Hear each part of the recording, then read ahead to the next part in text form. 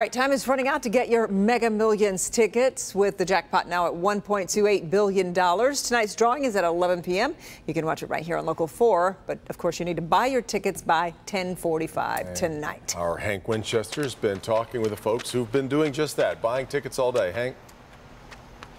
Hey, Devin, I'm one of those people. I've been buying tickets all day long. We're here at the Kroger Novi. Now, why are we at this location? This is where that billion dollar ticket was sold last year. And in the state of Michigan, you're required to come forward, do that photo op, yada, yada, yada.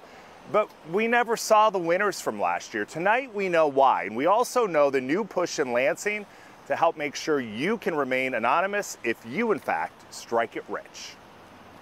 It happened at this Novi Kroger store a little more than a year ago. A Mega Millions ticket valued at more than $1 billion sold.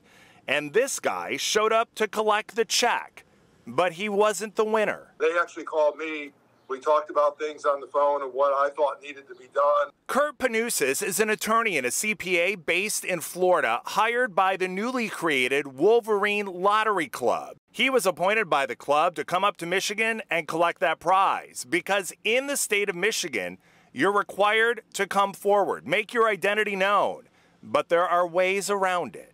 If I get a blank canvas, I can do a lot of things with that for the benefit of the group or the individual. So it's for me, it's always better that they not sign the back of the ticket. Some states allow you to remain anonymous and others don't. In Michigan, they want to capture that prize winning moment.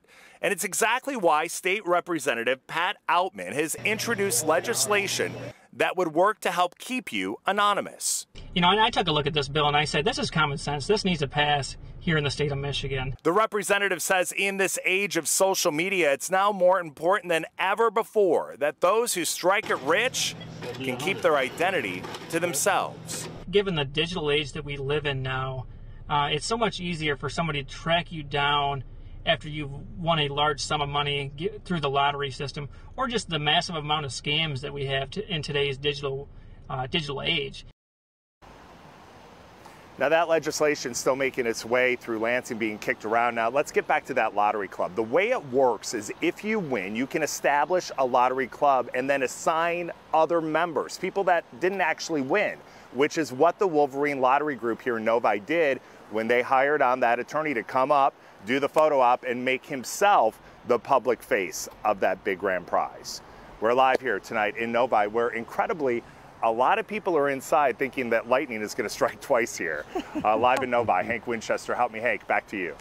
All right, Hank, and you can get the numbers as soon as they're picked. Tonight here on Local 4, we'll carry the drawing live, and then we hope you'll stick around for Local 4 News at 11.